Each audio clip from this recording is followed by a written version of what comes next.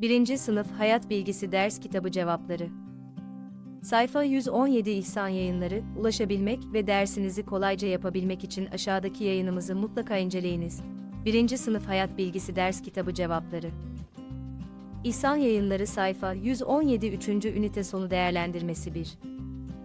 Aşağıdaki sorulan sözlü olarak cevaplayınız. Kişisel bakım denince aklınıza neler gelir?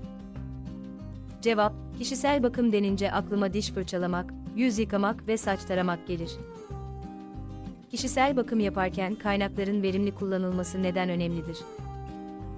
Cevap, kaynakları doğru kullanırsak, israf etmemiş oluruz ve doğayı korumuş oluruz.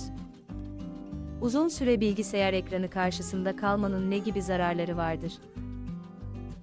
Cevap, uzun süre bilgisayar başında kalırsak gözlerimiz yorulur ve başımız ağrıyabilir. Aşı olmak neden önemlidir? Cevap, aşı olmak bizi hastalıklardan korur. Bulaşıcı hastalıklardan nasıl korunabiliriz?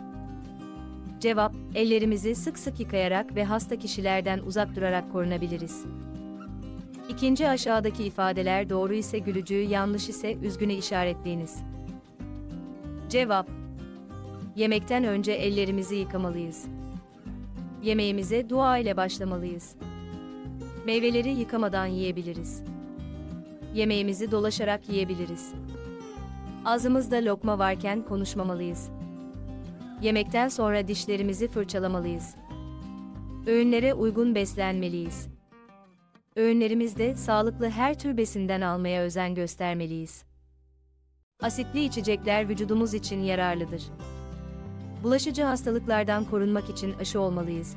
1. Sınıf İhsan Yayıncılık Hayat Bilgisi Ders Kitabı sayfa 117 ile ilgili aşağıda bulunan emojileri kullanarak duygularınızı belirtebilir aynı zamanda sosyal medyada paylaşarak bizlere katkıda bulunabilirsiniz.